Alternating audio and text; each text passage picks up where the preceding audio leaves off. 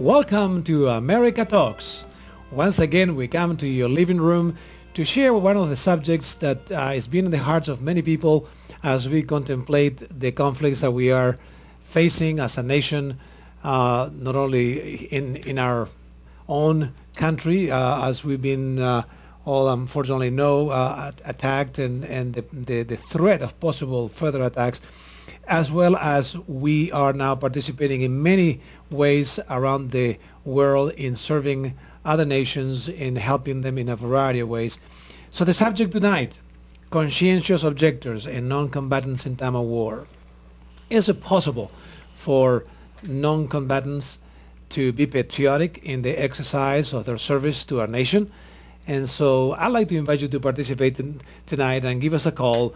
Maybe some of you um, had that uh, particular uh, experience, and uh, some of you may even have it today.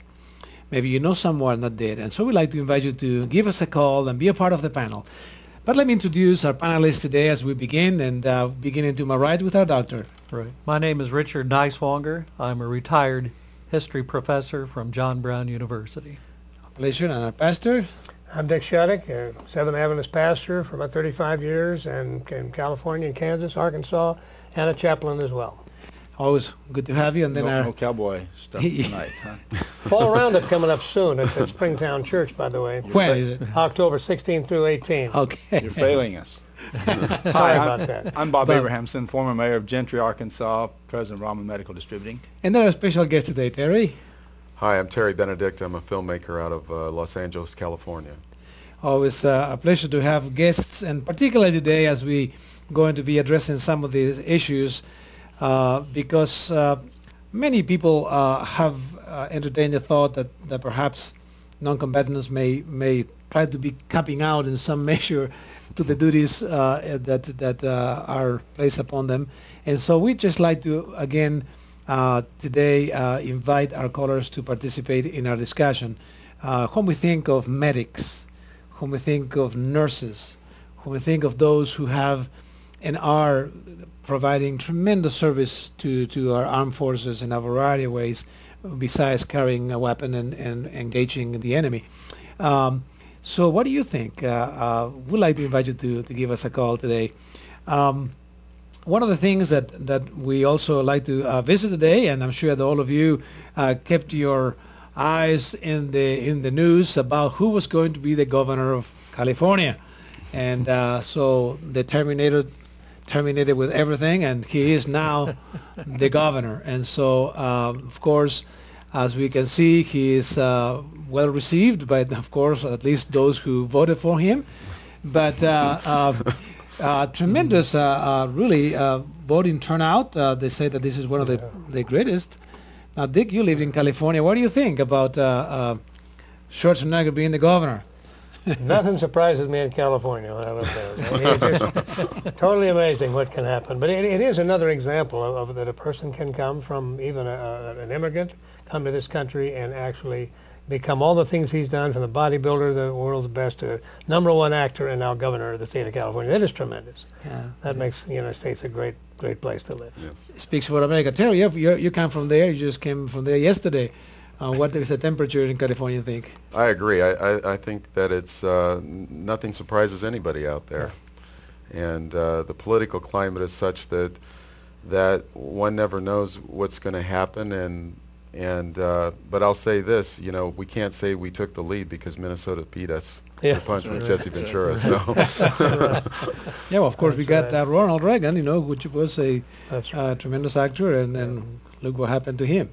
And uh, so, um, an amazing thing. The- I guess I guess the, the, the, the real question that everybody is, is really asking, and, and, and the challenge that that this event has, has put us into is is that are we going to be doing this recalling an elected official when we don't like him?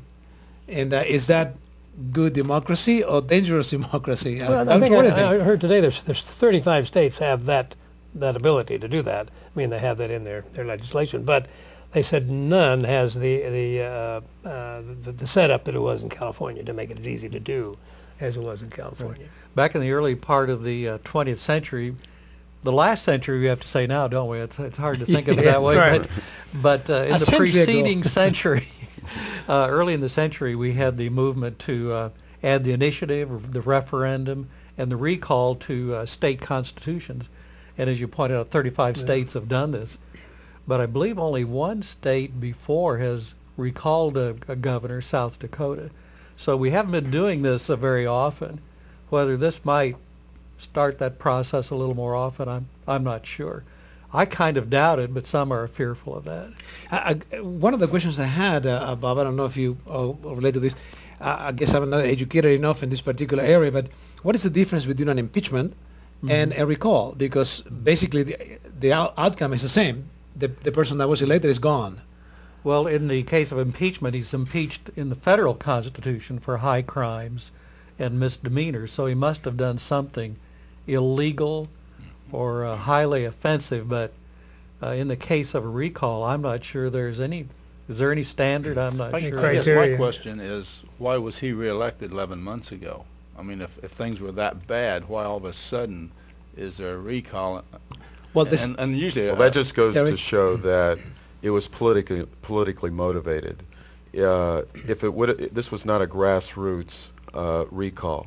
It was started by the Repu- by a Republican One and financed by the Republicans, and then it caught on at that point. And certainly, Gray Davis made some some unfavorable moves, including tripling the car registration tax. I think that was that was the And that was that the straw, probably wasn't it? was that was really that and, Upset and, everyone. and giving uh, illegal aliens uh, driver's licenses. Mm-hmm.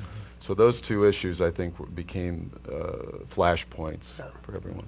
Yeah, yeah, yeah.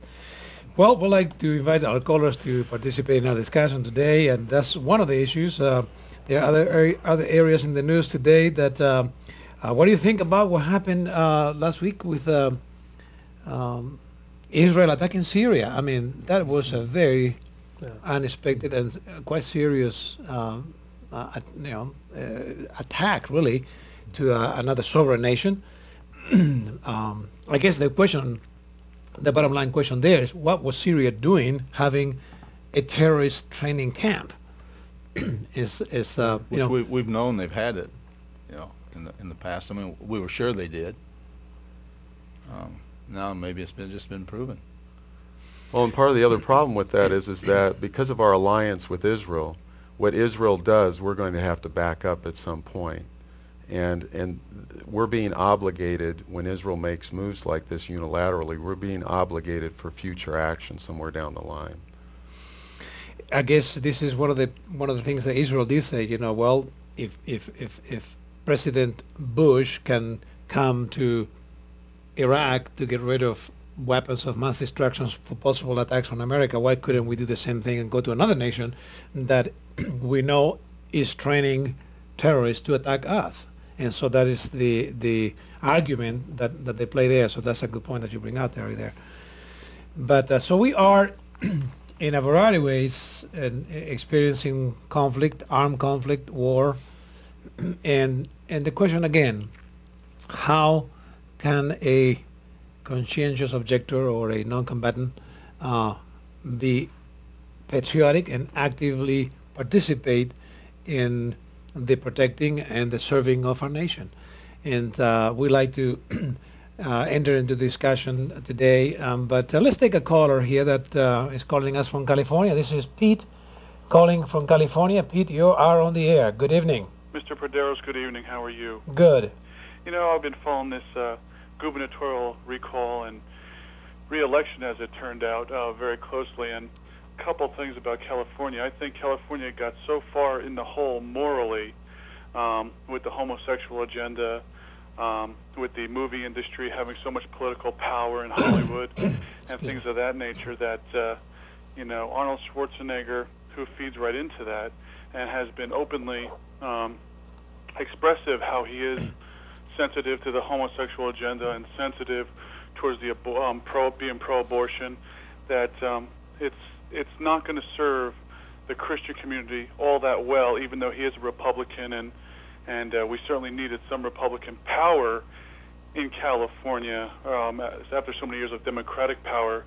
But um, um, I do agree that the Republicans did fund this awfully heavily because George Bush is going to desperately need California in the next election. Yeah.